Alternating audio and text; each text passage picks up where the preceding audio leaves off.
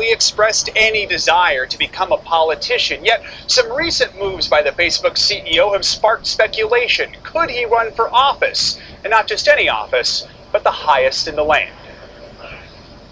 His standard uniform in almost any setting is the t shirt and hoodie, but some wonder if Mark Zuckerberg, one of the richest men on the planet at age 32, could be shifting into a more presidential mode.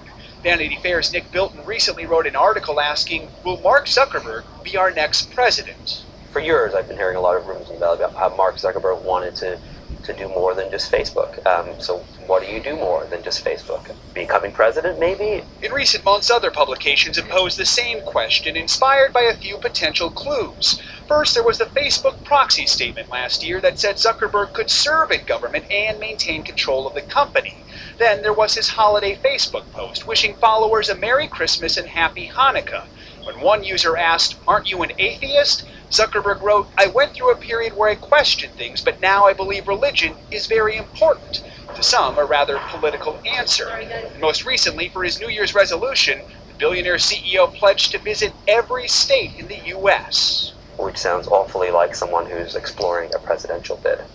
Though Zuckerberg has said such travels will help him with his work at Facebook and his family's philanthropic organization.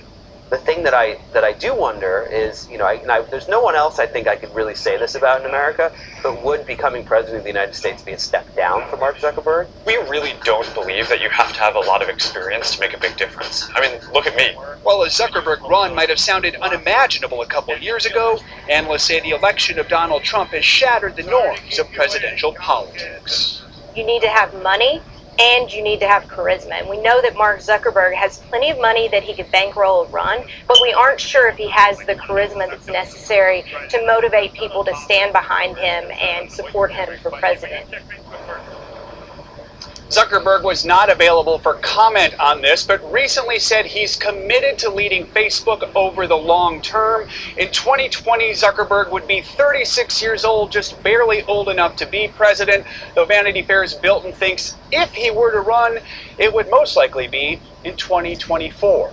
Matt Tamron. Uh, Joe Fryer, thank you very much. You know, our friends out in Las Vegas have odds on just about everything. Uh-huh. They have odds on Mark Zuckerberg running for the presidency 20, 125 to 1 against. Against him running. Mhm. Should So put it on a put a Facebook short- poll.